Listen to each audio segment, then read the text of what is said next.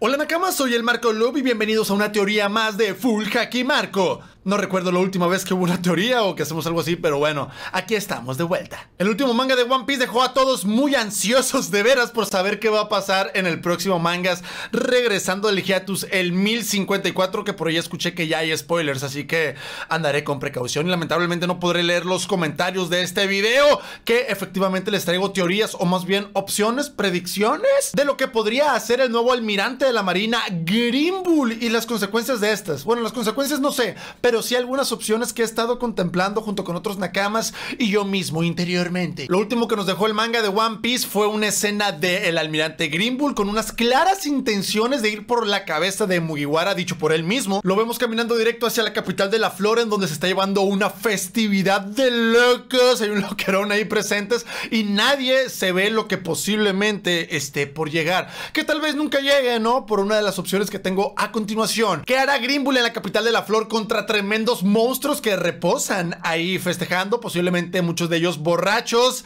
Eh, pero bueno, opción 1.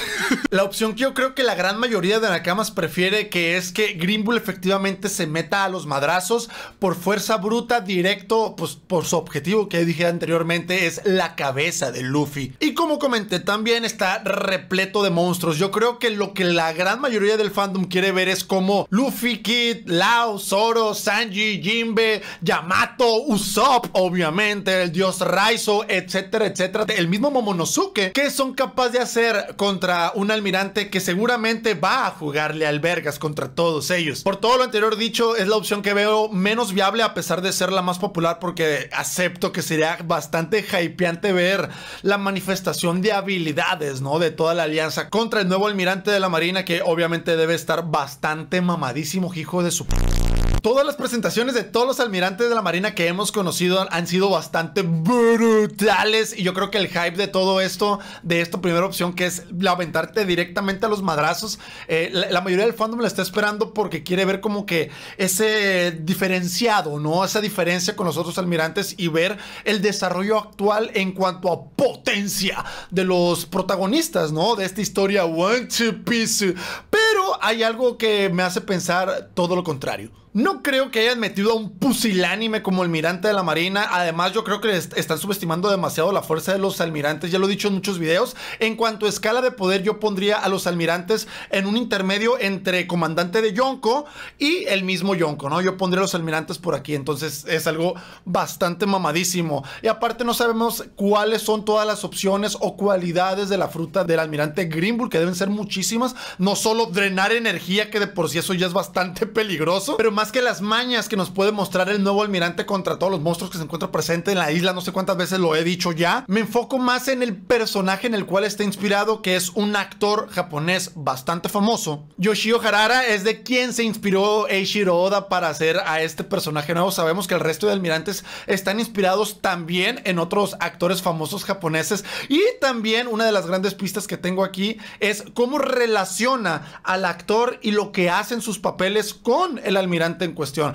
Bueno, Yoshio Harara se distingue porque en sus papeles efectivamente es un tipo yakuza que anda sin camisa por todos lados y se avienta los madrazos bastante kamikaze. Se distingue por pelear él solo contra una masa grande de antagonistas. Posiblemente pierda extremidades y al final termina ganando, cosa que me da bastante miedo, ¿no? Y el almirante dentro del manga, pues como son plantitas, me imagino que si le cortan un brazo o algo así haciendo paralelismo al actor, supongo que lo poder hacer crecer. Digo, Orochi no, no está muerto. Dudo que esté muerto, entonces dudo que este vato pierda extremidades. Y otro punto para que la alianza, a pesar de que están bien mamados, se encuentran en recuperación, están distraídos, muchos de ellos están borrachos, se encuentran problemas contra este personaje que de seguramente nos mostrará un despliegue de habilidades brutales. Opción 2. Ya hablamos mucho en la opción 1 sobre la complejidad que tiene Ryokyu o, o Green para meterse directo a los madrazos, ¿no? A intentar con la fuerza bruta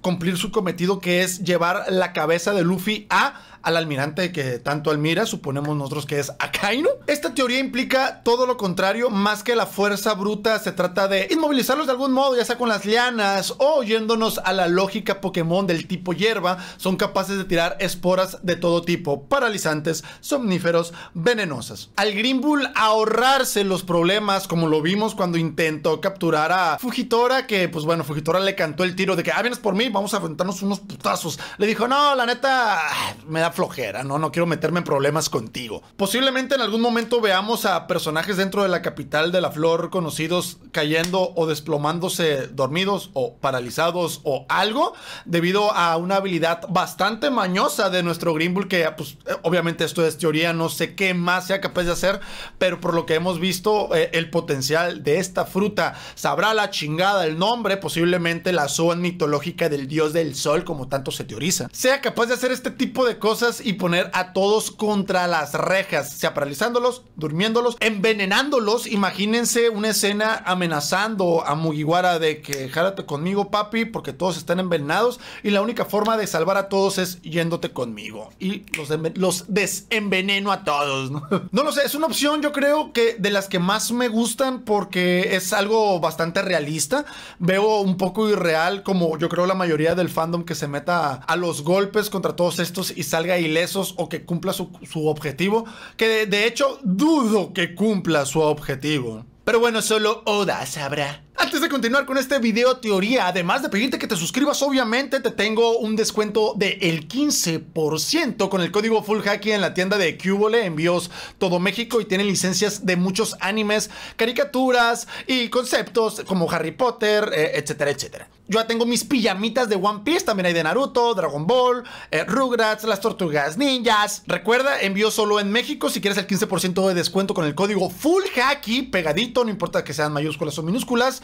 Ahí te encargo y me estarías apoyando. Muchas gracias. Continuamos con el video. Opción número 3. Que no pase absolutamente nada. Que quiera llegar bien bravo a hacerla de pedo, pero que llegue una waifu a pues, ofrecerle comida. Ya vimos en una interacción con este personaje Fujitora en el Every en donde Fujitora le ofrece algo de comida y Greenbull responde que para él es bastante molesto comer, que comería únicamente si una chica guapa le ofreciera comida. Casualmente el personaje en el que está inspirado, el actor en todas sus películas pues tiene su respectiva waifu. Es bastante Sanji en este sentido, es decir, le gustan mucho las chicas al punto de quedar bastante idiota, ¿no? Señalando también que su personaje, el actor, es bastante borracho, como lo pudimos ver también en el último capítulo del manga del 1053, en donde está catando el saque que en la prisión de Udon, que pues bueno, él sabe como experimentado catador, pues que es una mierda, ¿no? Posteriormente pueda recapacitar, eh, ver a los Mugiwaras y y a la hora ya de hacerla de pedo, que ya pasó tiempito,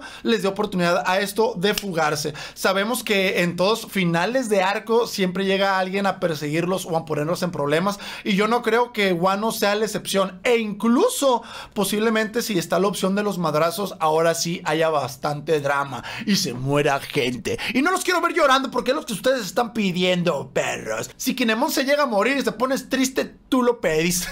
bueno, yo creo que muchos festejarían ¿no?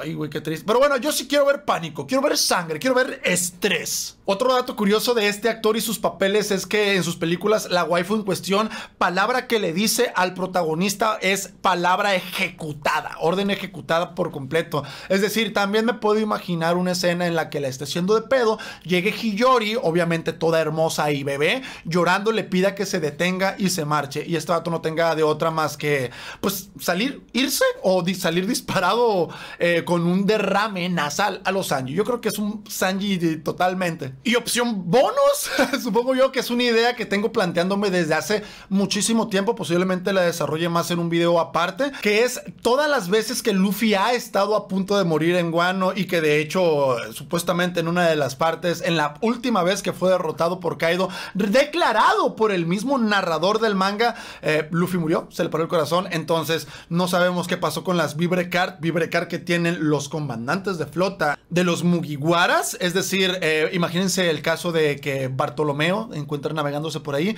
y vea cómo la Vibrecar de su amo y señor Mugiwara Luffy se esté consumiendo. Este señor lo primero que va a hacer es ir corriendo a Wano a rescatar o a ver qué está pasando con sombrero de paja Luffy. Todo esto me lleva a imaginar algo bastante guapo que es efectivamente que toda la alianza se encuentre en problemas, se encuentre en un encuentro bastante, encuentra un encuentro bastante cerrado contra el almirante y de pronto eh, en un golpe definitivo posiblemente que tenga contra las cuerdas a Luffy aparezca una muralla protegiéndolo, una barrera de Bartolomeo, haciendo referencia obviamente a cómo esta misma barrera protegió a Orochi de Oden hace más de 20 años, haciendo el regreso poético de la Bari Bari no Mi a Wano esta vez para proteger a Luffy o para ayudarlos a escapar. Esta última opción me gusta muchísimo, me acabo de acordar y quería compartírselos. Y estas son las cuatro opciones que veo yo que pueda ser el nuevo almirante de la Marina. Ah, mientras grababa este video se me ocurrió una más que involucra a un posible suplente de almirante que sería la vacante, eh, la rotación de personal más preocupante que tendría ahora mismo la Marina y el gobierno mundial.